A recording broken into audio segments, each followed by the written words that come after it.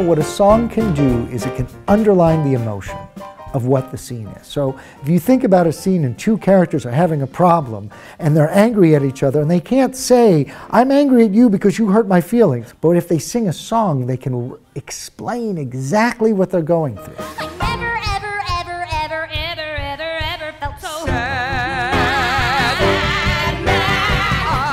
I listened to a lot of songs that I liked, and I put together a playlist of songs, and then I sort of hummed into a tape player a little melody. And none of these were what the song sounded like at all. But what they were, were they were signposts for Debbie to understand what the emotion of the song was, what I was trying to get across, and also how much more talented she is than me. So this solved a lot of problems. She could hear these things and be like, well, I know why I have this job.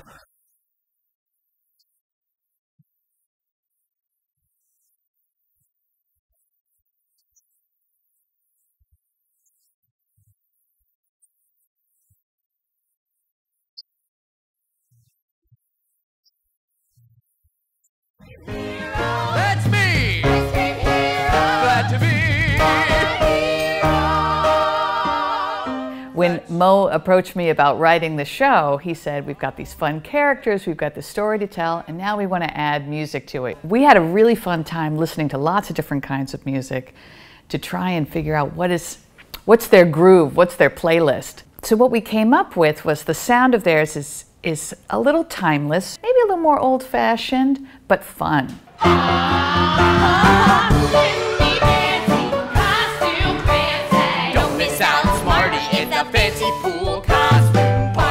It's bouncy and it's fun and it has a little bit of an improvisational feel. Improvisational meaning that you're kind of making it up as you go. And also in Mo Willems' books, he has a lot of, funny words. Boink, zap, that's where we, we brought in jazz just a little bit because in jazz, they do that. They improvise vocally and they would, they would do scat. So they'd go dooba dooba dooba dabba dooba dooba dooba dooba dooba So Elephant and Piggie should scat too.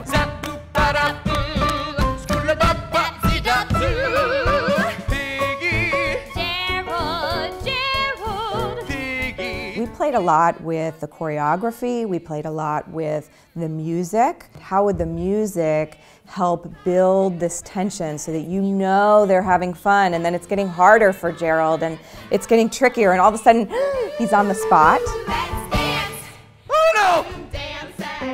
I cannot dance! I don't believe it! No! He moves through a big freak out about dancing that we needed everything on stage to help us build to that moment. So it didn't just come out of the blue in this party, but that it built and built and built until it exploded.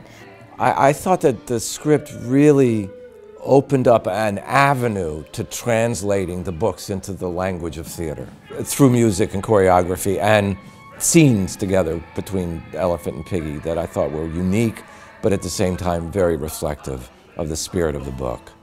A song is successful when you can no longer remember who did what to the song, that the song took over.